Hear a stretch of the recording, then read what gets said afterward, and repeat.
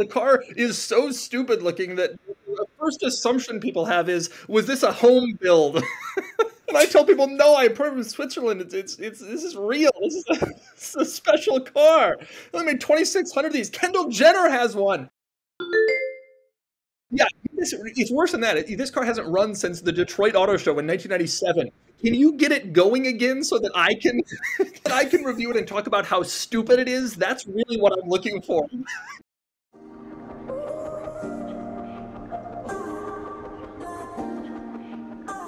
Hey everyone, thanks for joining us for another episode of the BMW Blog Podcast. This is episode 66. Today we're joined by Horatiu, editor in chief. How you doing, H? Hey, uh, good to see you guys. Good to see you. We have we also got Nico. How you doing, my dude? How's it going, man? Uh, good, good, good, good. Excited for our guest, uh, and uh, not to stretch this out too much. I'm happy to welcome our special guest for today, the one and only Doug DeMuro. Doug, welcome. Thank you. I appreciate you having me. Nice to be here. Yeah, of course. Um, so we're super glad that you could join us today. We've got a few talking points lined up: your car collection, how you got into the car scene. Um, but of course, before we dive into all that, just in case any of our listeners have been stuck in a garage uh, trying to fix an old Ferrari 360 for the past 10 years. Uh, tell our listeners a bit about yourself, about your background, your day job, your hobbies. Uh, the floor is yours, good sir. Okay, well, I uh, I run a YouTube channel where I review cars. It's just my name, Doug DeMuro, and uh, it it seems to be uh, as all sorts of cars, new, old, weird, exotic, cheap, everything sort of runs the gamut. And then in addition to that, I have this uh, car auction website called Cars and Bids, where we sell cars that are kind of cool and quirky and interesting cars from the modern era, so like the 17-digit VIN era, the 80s and up, basically. And that's kind of my entire life because those things take up pretty much my entirety of my time. I have a couple of misfit cars myself, and um, yeah, that's that's my world. That's pretty amazing. So you're basically day and night surrounded by cars. What a tough life. I know. It's the, kind of the dream, isn't it? I was thinking about that yesterday. I was reviewing a car that I wasn't really all that excited about, and I was thinking, at least I'm doing this instead of sitting in a, you know, there are way worse places to be. I, my first job I had was at a desk in a cubicle with Excel, and this is way better than that. I can only imagine. Uh, so speaking of that, I just want to roll into the very next question. I'm super excited to to ask this because given the chance, I think every kid and adult that's into cars basically dreams of the opportunity to travel across the states and doing car reviews. How did you like? How did this become a thing for you? And, and what advice would you have for any uh, would be uh, automotive reviewer that's that's listening right now? Yeah, it's a good question. I it became a thing for me. I started doing this. Um, I started really doing YouTube back in 13, and I started really kind of kicked it into high gear, so to speak, uh, in 16. Um, and basically, what happened was I, I, left my desk job and I, I started writing um, about cars. And um, for like a, it was called The Truth About Cars, and I think they still exist. And then that sort of parlayed into Jalopnik, uh, which was much bigger back then. This was like 2013. And I got an email one day from a reader who liked reading my articles, and he said, "Hey, you should make videos." And it, it hadn't occurred to me before that. sounds so stupid, but I truly hadn't. And, and so I thought, all right, maybe I will. This was kind of in the Wild West days, but with YouTube, you could do whatever. And um, so I started making videos, and now 600 videos later, whatever it is, here we are. And uh, and the writing is I don't really do as much, although I really enjoy it. And as far as advice, um, I always tell people to make the content that your viewers want to see rather than the content that you want to watch. I think that's a big, big thing that I try to impress upon everybody. Um, which I think is why my channel, one of the reasons why my channel has done well. Yeah, people, it's fun to drive the cars, which I do, but it's, I, to me, it was always, I thought people might be interested in seeing like the little details and things like that. And that seemed to be true. And so, yeah, I don't get on the track as much as everybody else, whatever, but I, I'm making the content that I think my, my people want to see. Interesting, interesting point. I think Nico has some questions tied to like the type of cars that uh, that you've been reviewing, and and and I, I won't I won't spoil it, Nico. I won't take take your thunder away. It's interesting because you've seen so many cars, um, and you obviously have your own preferences. Um, but I always I always think back to that saying that you should never meet your heroes, um, and taking that and applying it to cars. Um, was there ever a time when you arrived at a location thinking like, all right I can't wait. This is going to be epic because it's the fill in the blank car. It's it's the it's whatever. Only to be let down by one thing or another. Has that ever happened to you? And if so, like like just walk us through some of that because obviously you've gone through uh, so many cars. It happens sometimes. I will say the opposite happens more, which is that I show up and I'm tired, I'm whatever, I'm some car I don't really want to do, and then I drive and it's like, well, this this is amazing. Or a car, not even I'm not even like don't want to do it. It's just like I only have an average expectation, and then the car is way better. That happens more often. Um, and it's typically the older cars that'll that'll do that. So you, you hear like I just reviewed the 2004 Mustang Cobra, the Terminator Cobra, and you you know Ford during that era they made a lot of cars that were real bad, like just not good. And so I, I've always kind of liked that the idea of that car, but I assumed it would be crappy, you know, and then I drove it and it actually isn't, and that's that happens more. But there are cars that are disappointing. Um, and it's difficult. I'm going to pull up my little spreadsheet of cars that I've reviewed to try to find some examples. It it doesn't happen that often. Um, Evo 10 wasn't especially exciting. Uh, E34 M5 actually was great, but I don't know. I you drive the newer stuff and it's just a little bit hard to.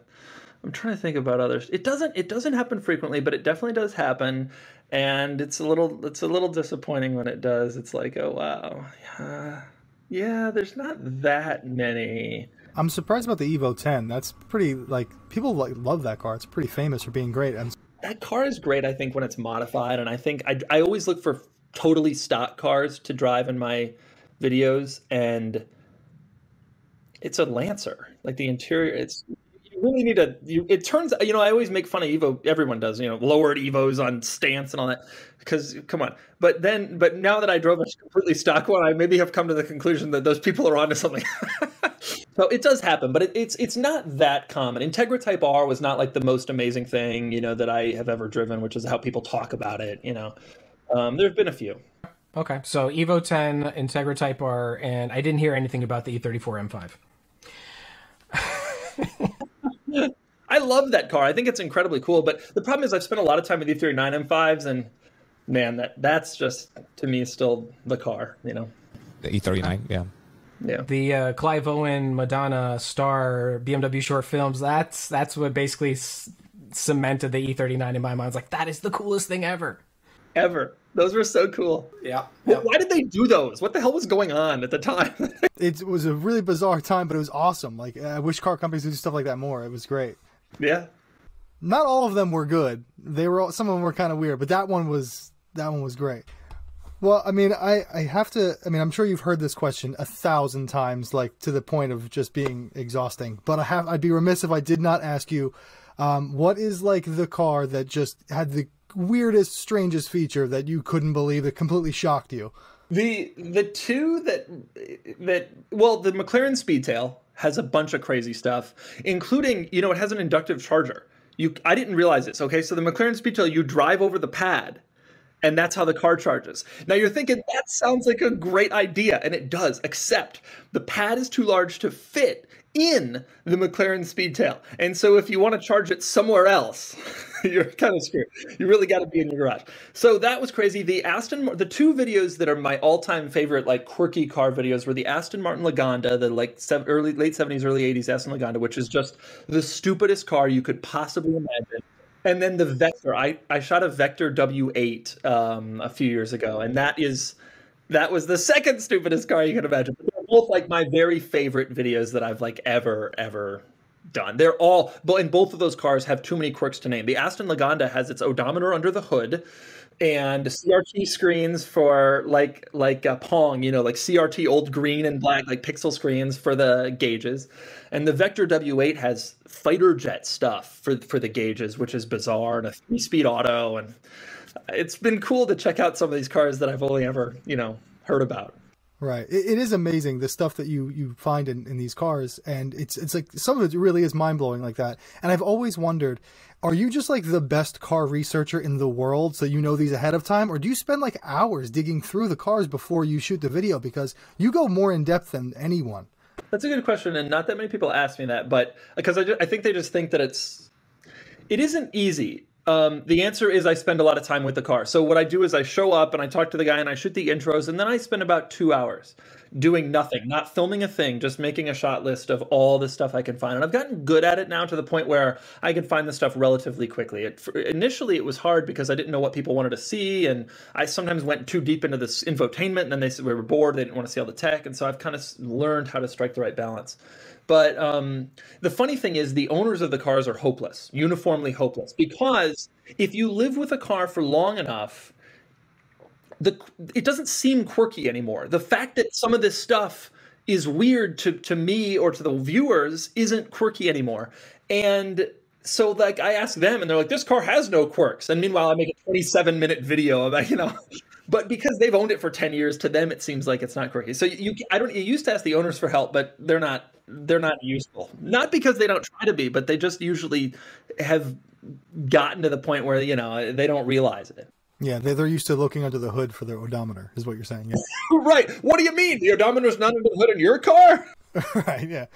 So has a customer ever been like kind of almost insulted that you like think things are quirky, or like have you ever been like this is weird and they, they kind of get mad about that? Yeah, sometimes I think people do, which is funny because I I, I try not to point out things that as flaws. I, there are some people who are very sensitive and and they think that by pointing it out as a quirk that I'm actually saying that it's a negative but that I'm usually not, unless I'm saying this is bad. Usually I'm just saying this is weird, and they think that that means bad, but it doesn't always. Oh, Odometer under the hood, I think is hilarious. I, I don't think that's bad necessarily. It's just like okay, that happened, I guess. But yeah, sometimes sometimes people get mad, and sometimes the automakers get mad, although rarely. Um, but it happens sometimes.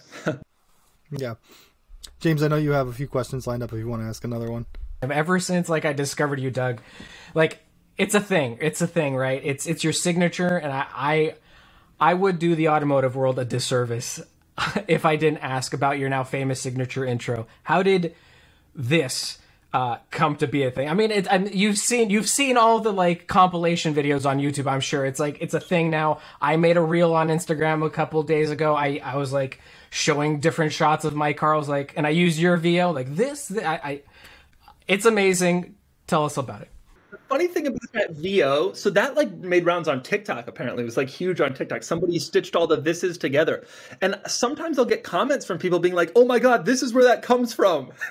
just discovered you like, oh, it's like you got famous from that. On we have people on cars and bids because you know I write a little Doug's take in every car, and we'll have people sending the listening back to us and be like, "Who's this guy? And what is he commenting about the car? Like, why is he giving his opinion?" And I'll be like, "What the hell?"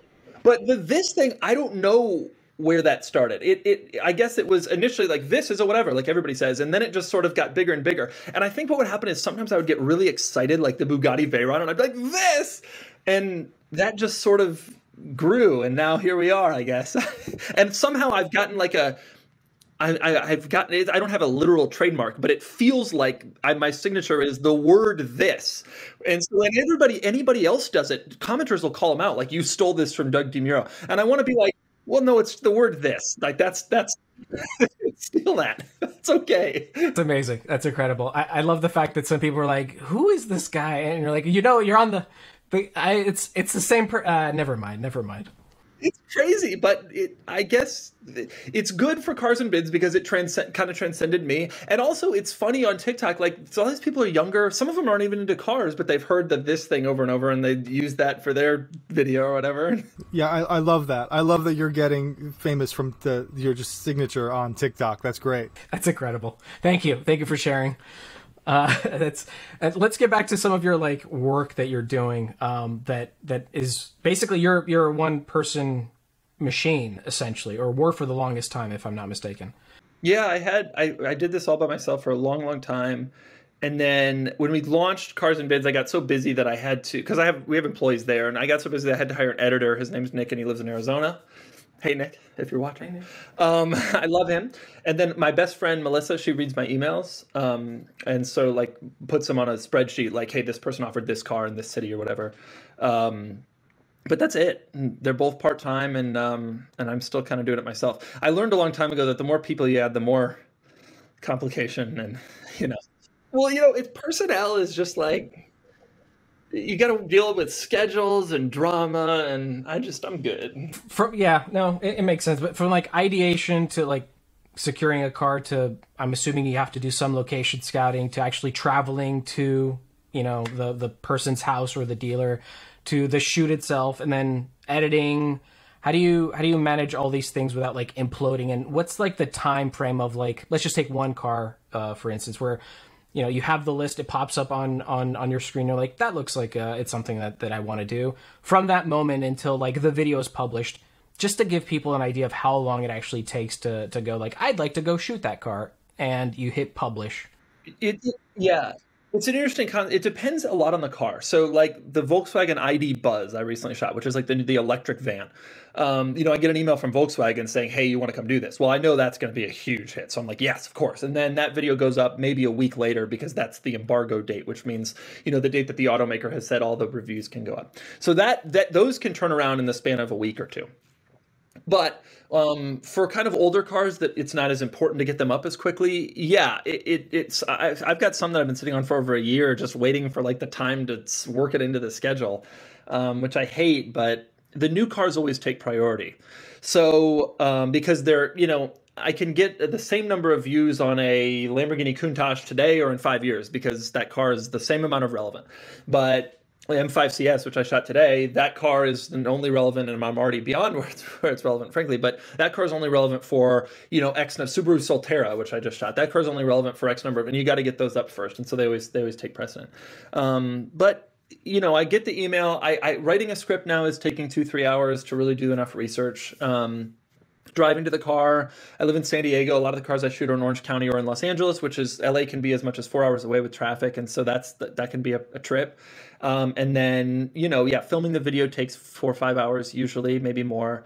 Um, and then you know, coming home and editing the video and and that sort of thing. So it's it's it's a process for sure. I think a lot of people see I've always kind of felt that a lot of people see Doug in his stupid shorts with his stupid T-shirt, and they're like, "That's that guy. I could do that." And it's like, "Well, try," because it ain't easy. I promise you. No, yeah, I was actually just gonna commend you for this because you do do, like you said, almost all of this by yourself with just a uh, you know a few uh, employees or a few helpers. And like I, I mean, I shoot most of my videos myself, and they're not even close to anywhere near as good.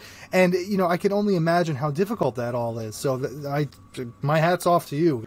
I appreciate that. I think I think a lot of people think, and you can probably back like people think, oh, it's thirty minutes. It probably took them an hour. Like the video is twenty five minutes long. It probably took forty five minutes to shoot, and it's like no. but if you haven't been in the space, you don't know. And frankly, my videos take less time. I did a commercial for Audi in June because I have this RS2, which is the coolest thing in the world. And I saw that. It was really fun. It was that was a good one. It was really cool, and that we I was in the I was in that commercial for a minute, and it took a day. So my, I'm like nothing compared to like real productions. So um, my problem is that like last week I was in Germany and I literally had from like 9 a.m. till 3 p.m. with a break in between to literally shoot four videos. And we're talking about cars and technology that I've never seen before. So I was briefed on literally five minutes before, you know, I went out to drive the cars. So now the yeah. problem is that if you make a, a, a, mistake, which you're bound to make one, there is no yep. way, people call you out. And they call you out because, okay, the production quality is not there. How come you were wrong about that? And they assume all the time, like you said, that you have like a full day to film and do all of that. Right. When I literally had like probably 45 minutes for one card and move to the next one and move to other products and all of that. Yeah. So I struggle a lot trying to teach people that there is a lot going on behind the scenes. And especially when you go on location for a launch, it's a lot yep. harder than when you get the car home and you can do all of that. That's right. I, I desperately try to have as much time as, as possible with the car. If I can get the car here, I always can. I always try. Um, but the, the thing is that I've learned, even if, because I did, I had a I, the Z06, I got two hours with the new Z06. And that's just nothing, you know. And I still somehow made a 25 minute video, but it was really hard. And I miss, I made two small mistakes. And the thing that I've learned is people don't care if you know like you're saying like oh it, i only had a short amount of time and a small briefing and i had to get it done. And yeah i want to tell that to everybody. Like this was i tried so hard i got i only made two mistakes. I want to like hold it up. But the, the thing is it doesn't really matter to people. And so you you don't like have the luxury of being able to explain yourself which is the hard part. And so you just have to it's tough sometimes. I'm, I'm still hearing everybody complain that I called out that the M4 CS wasn't actually like it is limited. It's just not as limited as the M3CS. And I spent over a year to make a 30 minute long video. Over a year. People just get so, and it's, and it's some of the stuff is just tough to hear. Like, dude, this is so meaningless. I got it. I, I, like, there was like a, I said in my C8 Z06 video that the front this is the first time a, a Z06 has ever had a different front fascia, that, front and rear fascia than other Corvettes, which by the way I got from their press release. But anyway, it turned out that is entirely true, except the C7 had one more inlet in the front. All the other cars had the same front and rear fascia, but the C7 had one more inlet. So actually, GM was wrong in their release. Fine. But I said it. And then that is the thing. And it's like, okay, we're looking at a car that has whatever it is, 650 horsepower, mid-engine. Like this is the, and we're gonna talk. Of and there was like a back and hundred multiple comment back and forth about this, the front fascia thing. And I'm like, well, before I let the guys continue with their questions on the uh, on the strategy with the embargoes, because I struggled with this actually yesterday. There were a couple of embargoes that were supposed to go live on the on uh, BMW cars. One was an i7 electric, and then the other one was a regular 7 Series. All brand new cars, brand new products. Very few people tested how do you make the decision which one goes live or do you or here, here's what i did yesterday i made the mistake of publishing both kind of around the same time because the embargo expired and um, and of course one of them did well the other one not so well yeah so how do you deal with that when they're two hot products and the embargo it's, a, uh, it's at the same time i don't know it's hard and you know the hard part is i i still to this day don't know what videos are going to really blow up and which ones aren't. like i I had I'm I have an, an ad integration coming in one of my videos next week, and the you, the person I was coordinating with said I, I offered him two videos. They said, "Which do you think will do better?" And I'm like, "Good luck." It doesn't matter what I say; it's going to be wrong. So I took a guess, but that it's it. I don't know. I don't know the answer to that. I mean, some some you can tell. Like ID Buzz, you knew was going to blow up, and and there, there there's ones here and there you can tell, but so much of the time i literally have no clue what's going to happen and i'm astonished and honestly that that has informed some of my strategy watching other people. Frankly m5 cs i just shot this car. I, I the only reason i waited so long to film the video is because i didn't think it was all that exciting. Ultimately it's we've got the m5 we've got the m5 competition. This is relatively minor but the people other people's videos have gone up and they've blown up so i'm like all right well crap now i got to do that car. And so that happens. I, I truly don't know what the answer to that is because i truly still don't know what is going to do the best. It's hard. Yeah, I struggle with data too quite a bit. Like you would never believe our most viewed video. It's like 1.2 million, and it's 15 seconds video shot in 360p vertical on YouTube. There's no, there's no predicting, and still to this day, I will have in videos just completely go up and like, wow, okay, that did 10 way better than I expected, or way worse, or damn, I wish I had put that on a different day because it would have, you know, whatever. It's just kind of the way it works. I think. So, so that sort of leads me to my next question for you, and it was like I actually saw a Twitter thread the other day between you and like Matt Farah and a couple other other guys talking about how you kind of choose your videos, and it seemed that like you know you clearly say new cars perform better on YouTube than older cars, and we've even seen that on our channel as well. Um, how do you like prioritize, um, and how do you like kind of work in your own like picking between newer cars you know are going to do well, like the ID Buzz, and then um, you know, like passion project cars, like a you know an old car that you really really want to test and, and you know find all the quirky features about. And like how do you kind of prioritize that and balance that? You know, it's it's interesting. That thread was really interesting. I posted that comment that post on Twitter, and I didn't expect people to kind of blow up that like the new cars are doing so much better, and but it really did. And a lot of creators were replying and with their thoughts and stuff, and and it kind of made me even think about it more. Um, one of the things that comes out of those threads uh, whenever something like that happens is that there is a thought that the, I prefer the quirky old cars, but I'm doing the new cars like to make money. And the truth is, I actually love filming new car videos, and I even love filming like cross mid-sized crossover videos because I find that that segment to be incredibly competitive, and it's incredibly interesting to me to see how the automakers like distinguish themselves in little ways. And so like often I, I actually prefer doing the new cars and that's especially true now that a lot of the cool older cars that i've reviewed um, are in the past. I've shot the Countaches i've shot the enzos i've shot those are all kind of gone. And so more and more the new cars are becoming the passion project the stuff that i'm most excited about. Porsche just sent me a gt4 rs i mean i'm more interested in that than shooting some 911 club sport from the 80s i don't care about you know that the, the, the a lot of the, the, new cars are more exciting just generally. But also, I don't know, at the end of the day, people hate to hear it, but it's a business and I have to run it like one. Some of the people were like, Doug, you should just focus on what you love and don't listen to anybody. Don't listen to the views. And I'm like, I don't know how much money you think I've made from this, but it's not like enough to retire at 33 or however old I am. Like this is, I need, I can't just, I can't just do what I love. this doesn't work that way. Uh, what if I told you that about your job, dude? it's like, Right. Yeah. People seem to think that because you have a few million views, you can just do whatever you want. But yeah, it's uh, it's interesting. So I didn't have a chance to reply to that thread, but I read it because Nico sent it to me, and I think the, uh, the only reason why new car videos do well it's it's a combination of the Google searches and YouTube searches, right? Yep. So a lot of the views are not necessarily driven from YouTube, but also from just searching on Google for a new product. That's right. So clearly there is there, a lot, there is a lot more volume, and that's why all the new car stuff will always do better. I mean, it's just pure data. And I try to explain that to people because because they say, oh well, these quirky cars are so cool, and and yes, for my core traditional audience, the quirky cars are the coolest things. And those videos will always get a certain number of views because those people always watch. But at the end of the day, I posted my review of the Honda Odyssey four years ago. And that car, that's still the same Odyssey that's on sale now. And that video still gets tons of views. RAV4 is the same way. Ford Escape, I checked the other day, my Ford Escape video has almost 2 million views. That's not an enthusiast, right? That's like people who are trying to buy the car. And that's kind of the that's kind of the thing that I'm trying to impress upon everybody that like those videos have a longer tail and so not only do they do better initially but they also do better in, in the future because yeah there's actual in and this is one of the things that i've always struggled with really a lot on my channel generally is that um, I have to cater to the audience that's both new car buyers who are interested in buying a car and car enthusiasts in a way that most other channels don't. Most other channels have either an enthusiast focused or like a shopper focus. And so I have to post like a 1990s TVR video the same week as the Hyundai Ioniq 5. That's that's unusual and trying to keep both of those audience interested is is a little bit on the on the difficult side, but it seems like it's skewing more towards new cars for sure. We have the same strategy on the web, right? So I mean, we've been doing the website, you know, for a very long time.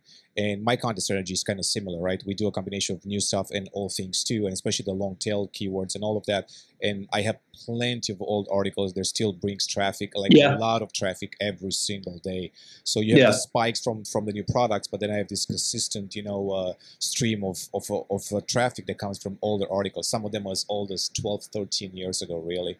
So, Wow. uh, yeah, yeah. So really, so I spend a lot of time on content strategy for both new cars, guides, uh, how tos, and of course with uh, older cars. So it's kind of similar strategy. You're you're applying that on the video side.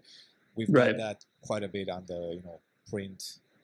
It makes sense. I never really thought that that would happen when I first launched the channel. It was the quirky cars were everything, and I, I didn't even want to do new cars. I didn't think I was qualified to review new cars, whatever. But now that's obviously shifted a lot, and and now I just realize like that's ultimately what people want. And people reply to that thread, and they're like, "Well, you know, the, the, your viewers want the old stuff," and it's like uh, my viewers don't, man. I got the numbers. I literally have the data. It's not true.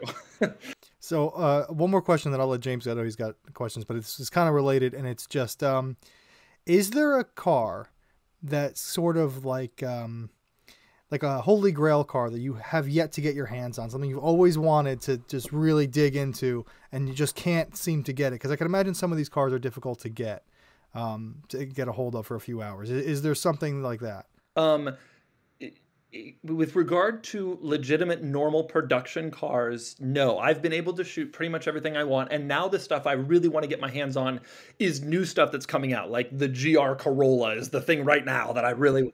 However, uh, I I'm, I love concept cars, and there are a few kind of one-off concept cars that I would literally kill someone to review. Um, and, and Sultan of Brunei cars. I love like one-off automaker made one-off cars. And so the Sultan of Brunei um, in the 90s commissioned Bentley to make him SUVs called the Dominator.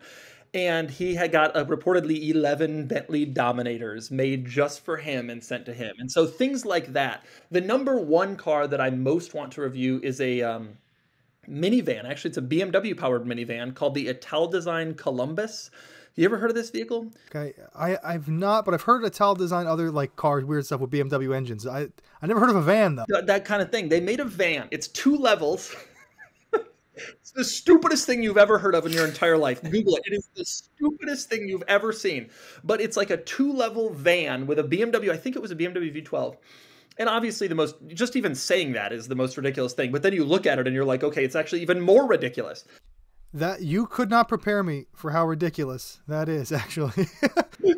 that is my number one. Uh, if I could review anything, now I mentioned this in a video a long time ago, and a Ital Design reached out to me and they said, "Hey, we still have this thing. You can come film it if you come to Turin." And so I said, "Oh my god, okay." But um and i'm going to italy this summer and so i've been emailing them but i, I the guy who had emailed me initially he I, he moved on to their company i don't have his contact anymore so i don't know if i'm gonna be able to do that but things like that i'm now in the point where i like really want to do like weird one-offs the ford gt90 if you remember that concept car from the 90s and like weird sort of special things like that if i if i could um and the automakers don't I, have asked my contacts at the automakers, hey, could I review the this concept car from 2004? And they're like, dude, this isn't. We're not pushing that anymore. We're not. no, get out of here. it doesn't work that way. It's like no, no, no. This isn't for a you thing. It's for it's for a passion thing. See, because that's what that's what people want. They don't want the latest and greatest. They want they want me to do what I want to do. At least that's the advice that they keep telling you. Yeah, it's worse than that. This car hasn't run since the Detroit Auto Show in 1997. Can you get it going again so that I can that I can review it and talk about how stupid it is? That's really what I'm looking for. Make that work. That's that's how I would pitch it. I actually have pitched this before to automakers. They'd be like, "Yeah, we'll check up on that," and I've never gotten a reply. Somehow, it's never it, they've never come back to me. Two weeks ago, I was uh, I was I knew that I was going to Munich, and I asked BMW M. I said, "Hey, by the way, can I stop by your M secret garage that I've seen like 15 years ago?" And the reply was like, "Why?" Uh, like, what do you mean, why? You got all the cool concept cars there, and they're like, why?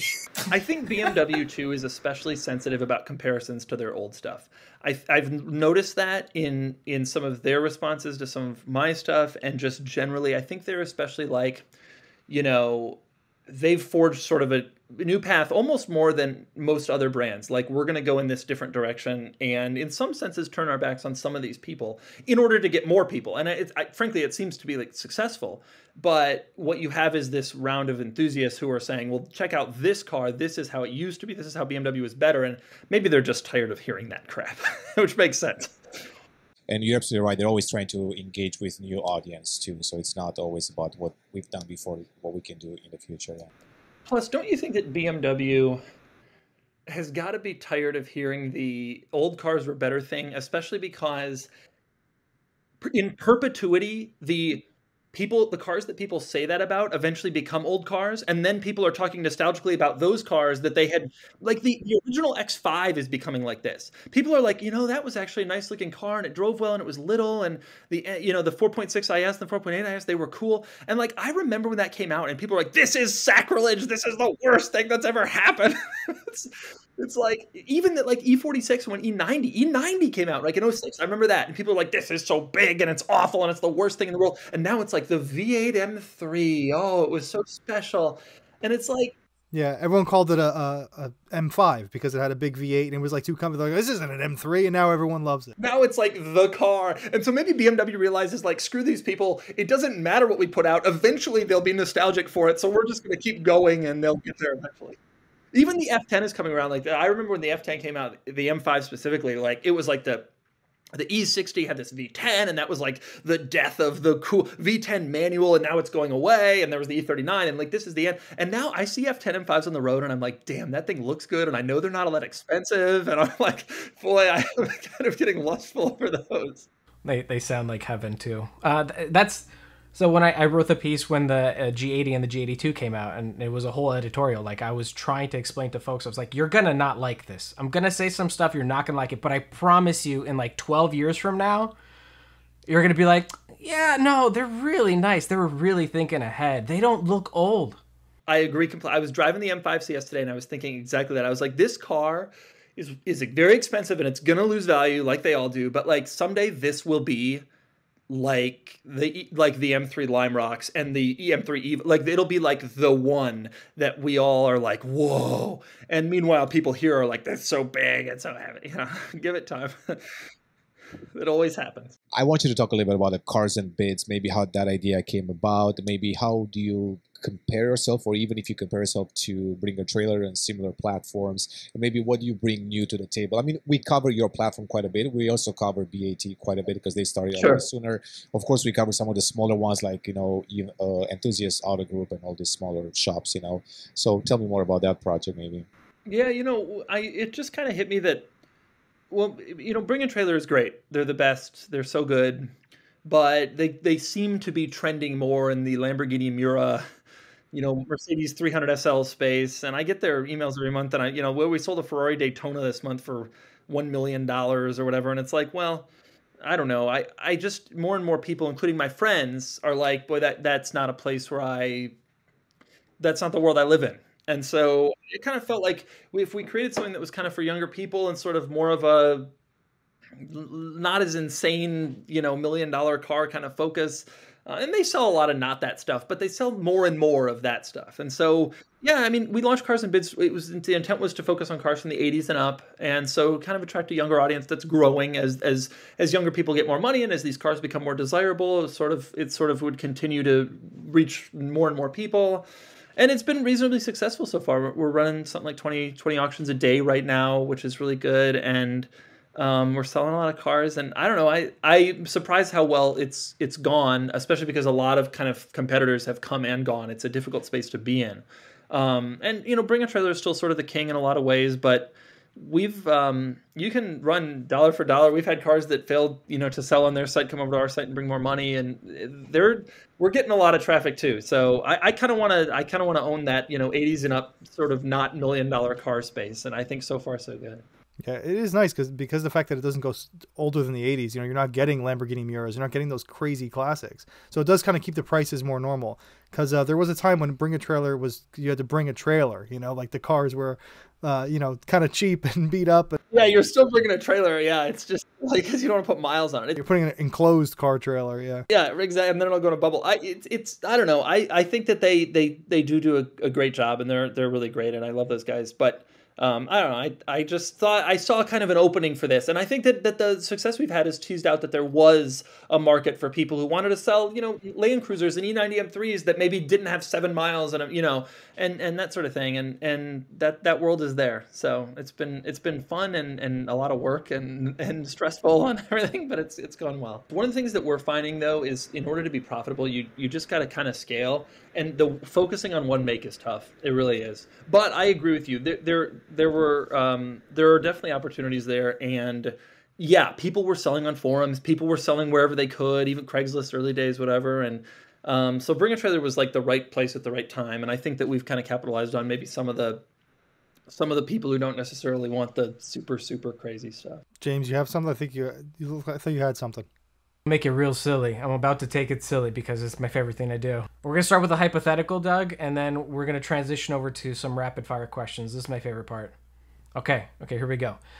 The automotive equivalent of the Thanos snap just took place, okay? Okay. And you get a text message. Doug, all your cars just vanished.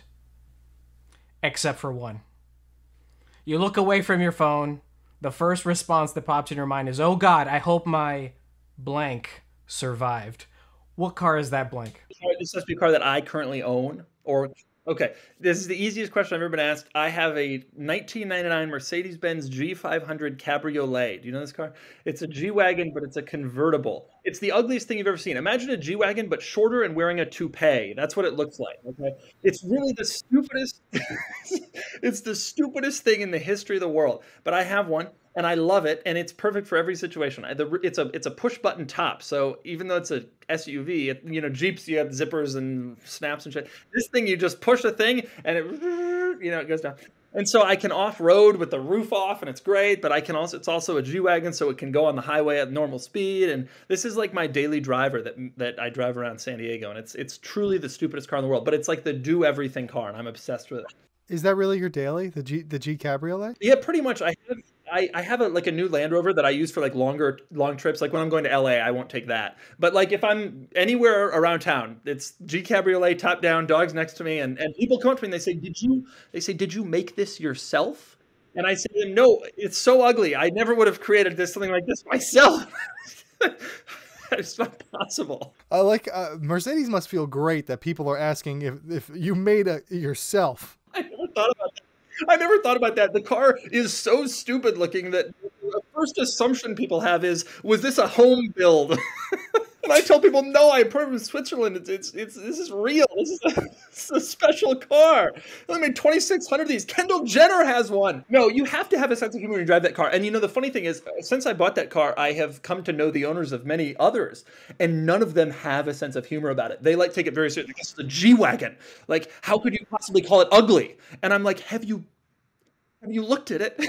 like, they, they all this. They, are not they're not buying it ironically. I mean, I get and buy it ironically. I use it, but I I know that it's false, and they don't. They seem to be like, no, this is the best, and I'm like, no, it's not. okay, let's go into some rapid fire questions. Here we go. Foreign or domestic?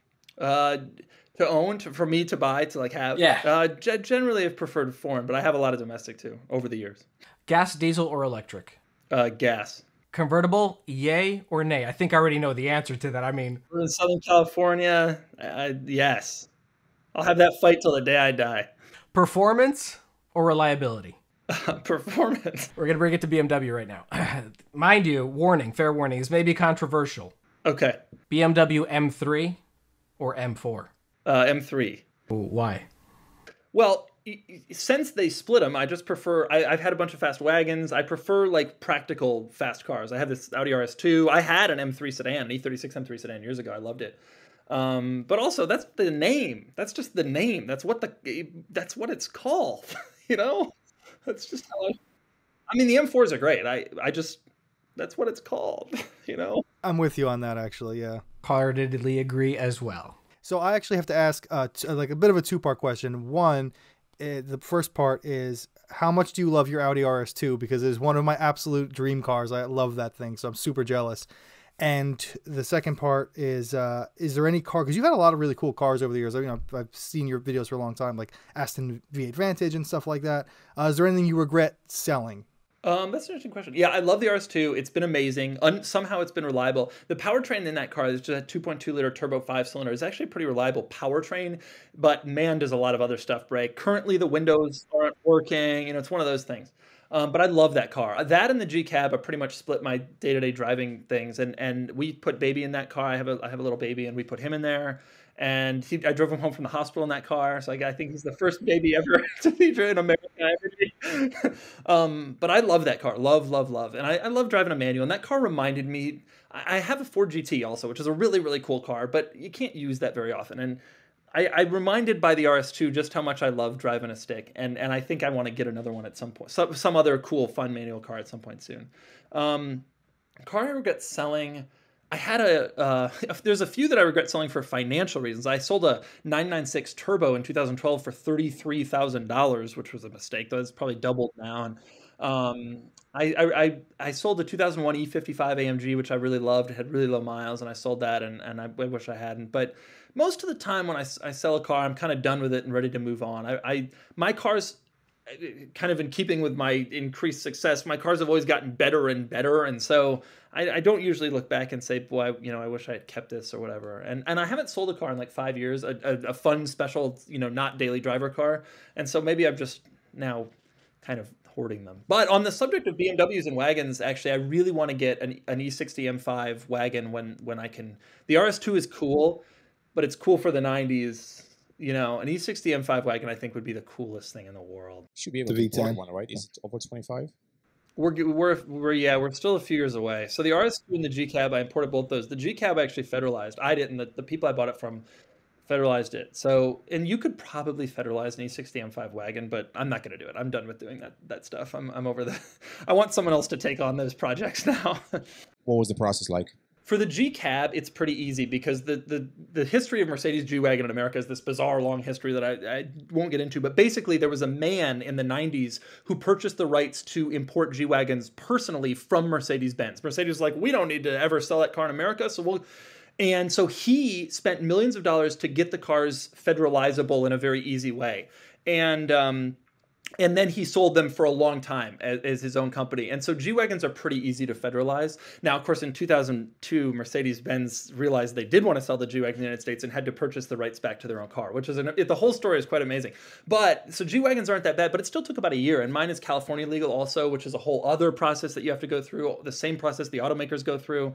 Like I have a fuel economy label for my car, even though it's a 1999 model, you know. Um, and I just I'm good with the imported. I love driving imported cars, and I, I will probably forever. But like I don't, I someone else can deal with the the paint, the the the HS7 and the declaring at the border and all that stuff. I'm just good. I'm not. I'm I'm not doing any of that stuff anymore. I'm I feel you with that because that seems like a big headache. But I I, I kind of want to bring it back to the RS2 just because I I love that thing. I've always wanted one, and this it's almost like unobtainium in America. They're so difficult to find. Uh, and you, like you said, you imported one. They sold them in America, I think, right? No, they were never. They were never sold in the states. Um, I imported mine from Canada. It had previously been in Japan. It was sold new in Germany. The car's doing done a world tour, basically. Yeah, I've seen a few on sale here. That was my mistake. I've seen a few on sale here, and they're pretty. They're hard to find. They're very expensive. I'm, I'm that it's such a cool car. Uh, I love. Like I'm with you on the 80s, 90s. I love those cars, and German 80s, 90s cars are like my my uh, kryptonite. What are you driving? Uh, I actually just bought an E93 series. That is my daily driver. It is just a. I actually I barely drive. I work from home, so I literally barely drive anywhere. What about what about James and Horatiu? What do you what do you guys have? Horatiu, you go. Uh, no, I'll keep mine last. okay, okay. Uh, I have an 18 F80 M3CS in San Marino blue with carbon ceramics and that M Performance titanium exhaust. Nice. Keep it forever. Forever, forever. Oh yeah. so my turn. I have a um, I have a BMW 1M. The best. I, I wanted that car for so long. Yeah, I truly love that car. People have wanted to buy off me for the last few months. I keep getting offers via email, you know, and, yeah. and everywhere they can find me. But I, I can't sell it honestly because I mean I don't drive it a lot, so that's that's the downside because I live in Chicago and it's not that pleasant to drive around. It's like in California. Um, and I mean winters are super long too. So basically, it's uh, yeah. it stays in the garage from like November till like April. Um, and also the problem is that even if I get for the car, I don't know what's selling right now, 80, 90,000, whatever that is, I still can't figure out what car I would buy with that money that would kind of be the same. Yep. So yep. Know, do you have any ideas like what car would be comparable in let's say the 80 to 90,000 range?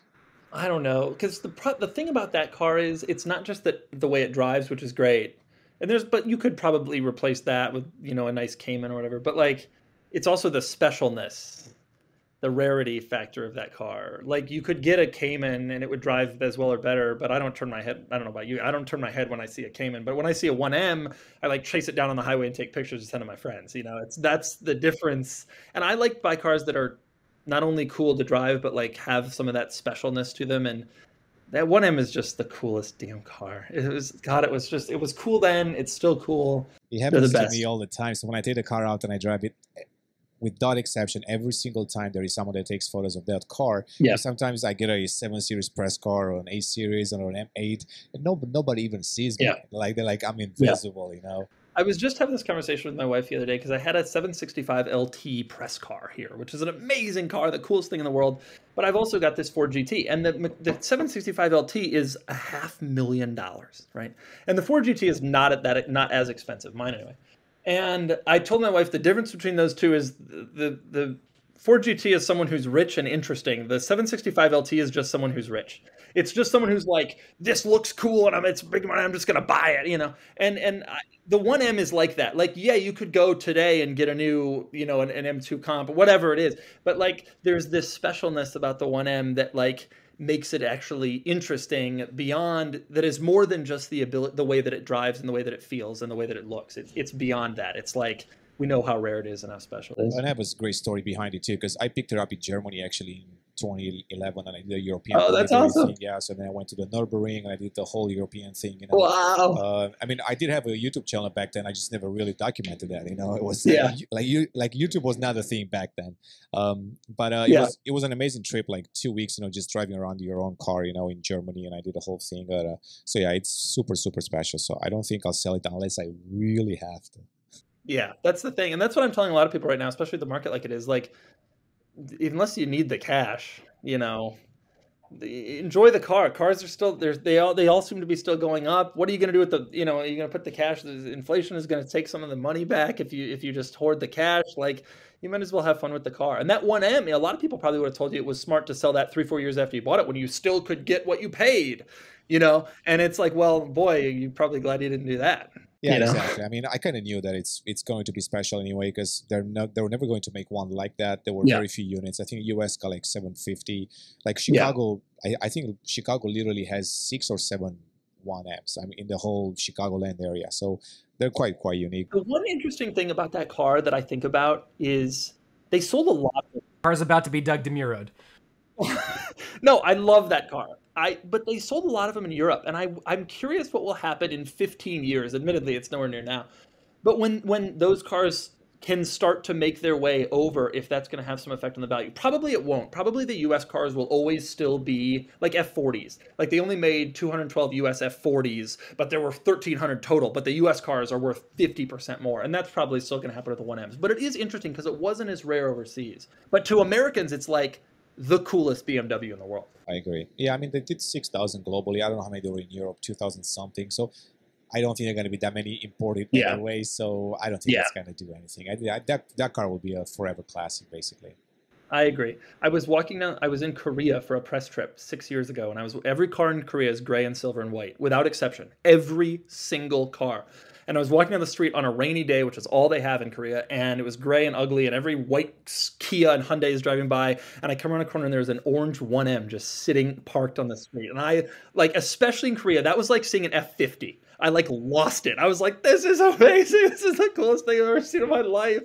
And I still feel that way when I see them, which is never. I don't. No one's driving those anymore. I think that car is. Isn't that just sad because like the the market is what it is and special cars are now elevated to magic and and they're now worth so much that you're like I don't I don't know if I can afford to drive the car that I've been driving for the past 12 years because And you know, the funniest thing about that is the cars that have become the most valuable and the most desirable are the ones that drive the best. 993 turbos, eh, the cars that are known for being this analog special Carrera GT.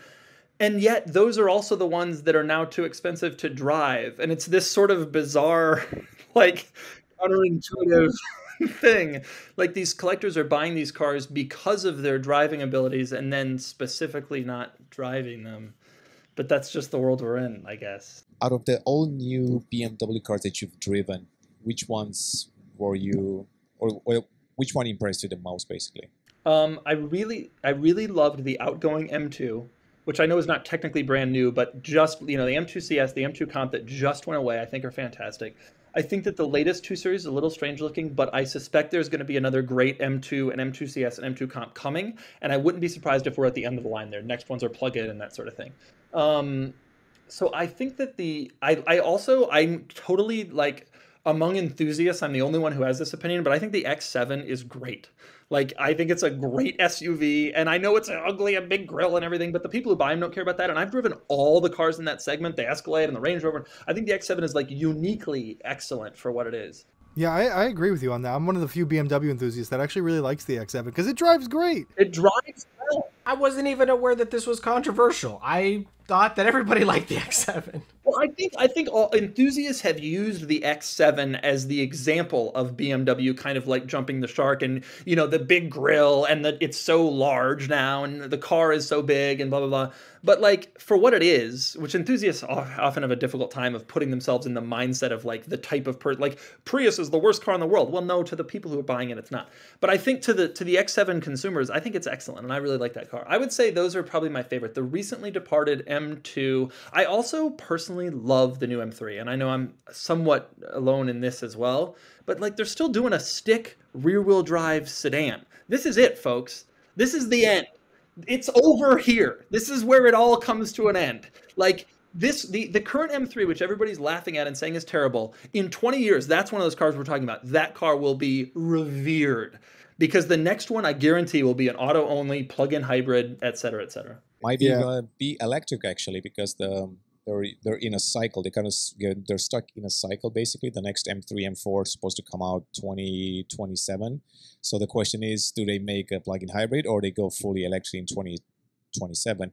Uh, but oh yeah, good be, point. And by then, be, exactly, but that's going to be based on what they do with the three and four series. So they're kind of stuck in between because by 2030, I think most of their lineup will be fully electric or close to yeah. that. But um, 2027, 2028, they don't. Yeah, they're kind of in between. So who knows? Yeah, and I'm sure they'll be amazing. I just drove the i4. My video hasn't gone up yet, but I just drove it, and I thought it was great. Like it's awesome. But it's definitely the end of an era. What we're in now. So like buy that manual M3 with the big front end and like understand that you know we're down to that car and like the STI or the, which is gone now at the WRX and the Blackwing V. Like this is the end of the line for these like performance sedans with a manual transmission, which was like a staple of performance cars when I was a kid. And so like that M3 to me is like is pretty special we talked to Joe Achilles in the UK, and the UK market doesn't get any rear-wheel drive manual M3 or M4. So basically, just the US. I'm not sure about Germany. I haven't looked into that, but I know for sure the UK people are kind of pissed because I get constant emails and comments that you know they would love to have that rear-wheel drive manual there too. So wow. we actually get it, and they don't. But I didn't are, know that. But they are getting Did the M3 Touring, and we're not getting the M3 Touring. That annoys me so much. God, I, that especially surprises me because do you know that E63 wagon is now selling the same amount as E63 sedan, and RS6 they're only selling as a wagon. So it's like there's a there's a market for this. Come on. Right. Yeah, I actually remember when the, it was first announced that the M3 Touring wasn't coming. I was like, Audi and Mercedes are doing it. If Audi Audi, who won't even give us an RS4 for they, the last RS4 was an 07. They won't even until you know the RS5 comes out yesterday. They can't figure that stuff out. If Audi is doing it, can't BMW. that one, that decision was surprising to me, to say the least. No, I think they miscalculated. So here's what happens. I can tell you a little bit from behind the scenes once again. Basically, the regular 3 Series Touring it was never homologated for safety uh, tests or safety yeah. crashes for the US whenever that car was conceived seven years ago, probably that project started. So at that time, they had no idea that they were doing an M3 Touring. So the M3 Touring project came up came along uh, probably three years ago when Markus Flasch took over BMW M. So he was trying to push, you know, new products and new things. And by that time, they probably had the option to go back and recertify the 3 Series Touring to be, uh, you know, uh, valid for the US crash test, but they never did it. So now they will have to do it for the M3 Touring, and it probably doesn't make sense. Yeah. Financially to invest in all of that. Yeah, that makes sense. It's too bad though. It is too bad, yeah. I've had I had two E63 wagons. I had a CTSV wagon. I had that RS2. I have that RS2 now. I would buy an M3 Touring if it existed here, but they don't. It's it's such a shame, but that makes sense. That makes sense. BMW even teased it in the M Town. Remember the M Town uh, promo that was a couple minutes long? Uh, Markus Flasch was reading the newspaper, just kind of leaning on it, and I was like, "Ah, oh, yes, we're getting it." No. We are getting yeah. the XM though. We are getting that XM 750 horsepower plug-in hybrid. That car has some controversy around it, but like 750 horsepower is 750 horsepower, you know? okay. The X7, you're absolutely right. So the story with the X7 is that we're talking about the US market. So the US market and US enthusiasts kind of liked it. But even now, if you go to Europe and you talk to Germans about the X7, they're like, that's a terrible car. They're like, that's a horrible car. They just don't like big cars there, basically. They don't, yeah. But it made no sense why BMW wasn't in that space anyway, because Mercedes, the GL came out in 07 and has been successful for a long time. BMW needed a competitor. And the X7 is like awesome. It really, like, the quality and the highest level versions is like wild. Way better than Escalade and even Range Rover, in my opinion. Um, I love that car. I think it's great. I, I It'd be a great family car if you had a luxury family, you know. I had a couple more. Oh, feel free. If you get feel free, yeah. Rapid fire. I got I knew I knew you said RS2 and I knew Nico knew and I knew the second we said M3 or M4 Nico's gonna be like gotta talk about the RS2. So I'm really glad we got that out because I, I understand. I totally get it. I get it. All right, let's get back to a little uh, uh, rapid fire and then we can wrap it up. Ferrari or Lamborghini or Koenigsegg? Ferrari. All right. Uh, this one we probably already know, but BMW or Audi? Um, that's harder than you think. I've generally speaking BMW, but Mercedes. I hate to say it, but Mercedes Benz over both. I love my RS2, but BMW. It's it, that was a very special car at a special time for Audi, and and and BMW doesn't quite have an analog. All right, two more, two more. Rear wheel drive or all wheel drive? Um, if you say why not both, it doesn't count all of my cars except for one are all-wheel drive. However, the answer is rear-wheel drive still, nonetheless. Okay, respect. Okay, now here's here's a controversial one: coupe or coupe? coupe. Bye. I get in fights with people about that. Oh, me too. I don't say I don't say Venezia. Like the term it, in, in it has been it has been anglicized, either Americanized or English in general, to coupe. So I say coupe.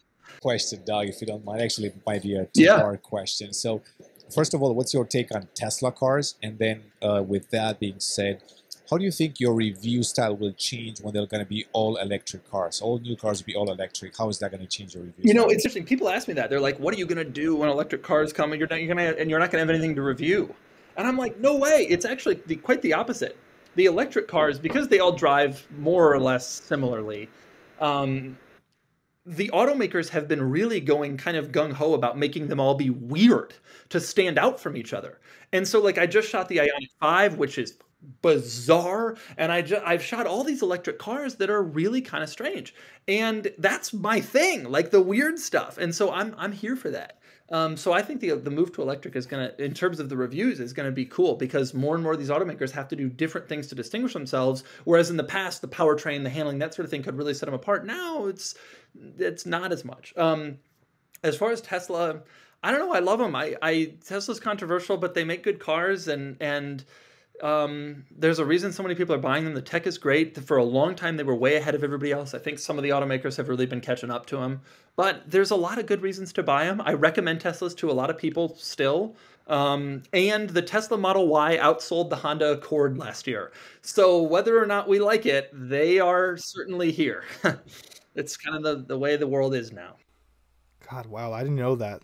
That's on the Honda Accord. That's a big moment. Think about that. When you were a kid, if someone had told you a, an upstart car company would outsell the Honda Accord from when we were younger, it was like the number three best selling whatever. And that now part of that is because obviously sedans in general have declined, but nonetheless, here we are. Have you done a Rivian yet? Yeah, that was cool. Yeah. Although my favorite of the electric cars, this is controversial, but my favorite is the Hummer EV, which I think is so cool. It's it's. Have you driven it? Yeah, it's the stupidest thing in the world, but it's so cool. Eleven hundred horsepower, nine thousand pounds. You feel like you feel like you own the road because you do. You literally. it's amazing. It's crazy. It's enormous. It's like the biggest vehicle I've ever seen. I've never seen one in person, but uh, that's crazy. Nine thousand pounds blows my mind. Like there are roads in my like in New Jersey you can't drive that on. They're like three ton limits. Like you can't right can't drive it. Right. Yeah. And it does zero to sixty in like three five or you know. So. Now it turns out that a lot of the Super Duty trucks get up to that weight, but still, it's insane. It's an and I love it. It actually drives really well, and the tech is great, and I I was pretty impressed by it.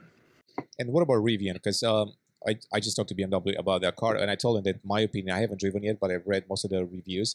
I said it's the only pickup truck that I would consider owning, even though I'm not yeah. a pickup truck person. Yeah, same. I'm and, not a pickup uh, guy, but I'd buy a Rivian. Yeah, and, I love it. I loved it. I was blown away by it. Um, I think it's amazing. It's fast. We took it off road. It was incredible. I'm an off roader. I do a ton of off roading. It was incredibly capable. The tech is great. My only concern with both Rivian and Lucid, they, I did the Lucid Air also, which is an amazing car. They're both like really, really, really excellent. But my only concern with those brands ultimately is like my Mercedes Benz. I don't have a Mercedes EQS, but if I did, if that breaks down, I got four Mercedes dealers in the in my county. Rivian, well, we will come pick it up. But it's really cool. It's a it's an amazingly cool car, and we'll see how they do. I don't know. So far, they're they're doing reasonably well. They're starting to ship cars. I'm seeing them in Southern California like almost every day first one the other day. I couldn't believe it. It was a weird electric day. I drove a Polestar, a BMW iX, and I saw a Rivian R1T. What did you think of the iX there? I have it right now. It's a great car. Um, it's I still don't like the way it looks, but it's a, I think it's a great luxury EV. I love that interior. How bizarre! BMW is claiming that the grill in that vehicle is self-healing did test it actually personally. So I was in Germany when it was the launch, and they had a they, they had on display one of those grills. I mean, it's just a piece of plastic, really. And I scratched it, and then basically they used something to heat it up. I don't remember like a heat gun or was. something. Yeah, yeah. And, and it, it needs to worked. be hot. Yeah. yeah. and it actually worked. I mean, it was a mild scratch, wasn't anything deep, but it did work. So I've tried it on a piece of plastic. So I don't know, man. but yeah, it huh. seems to work. Yeah you need to get like a blow dryer or something. But still, if it happens, if it if it does work, it does work. I guess. How bizarre! What a bizarre thing. My favorite part about the BMW iX is, in, in t- like this. I'm gonna make fun of it a little bit here. I love the fact that they get so excited about the the badge on the front being the washer fluid filler and it's like you're just trying to distract me from the fact that you don't you didn't put a frunk in the car that is an interesting that's an interesting point although i have to tell you i just drove the subaru solterra which is subaru's new electric crossover no front trunk. Same deal with the toyota version which is somehow called the lowercase b capital z 4 capital x bz4x how'd you remember that? I know. No one will. And the Mercedes EQS also doesn't have a front trunk. And I talked to someone about this, maybe someone at Ford, and they told me that their market research is showing that almost no one is actually using the front trunk. So it turns out that like it's a cool idea, but people don't for for regulatory purposes you have to have like a dual latch situation. Bmw has the cool one where you can just pull it twice but like ford you got to pull it once walk around to the front do a thing.